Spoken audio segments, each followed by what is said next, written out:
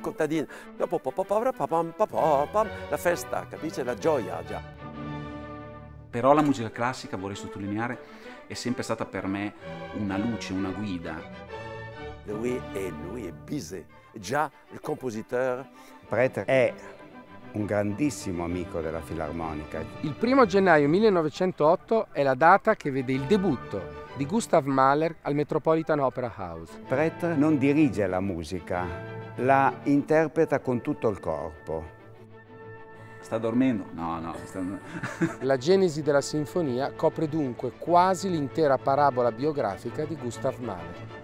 Anche questa è la carriera di un musicista. Ah,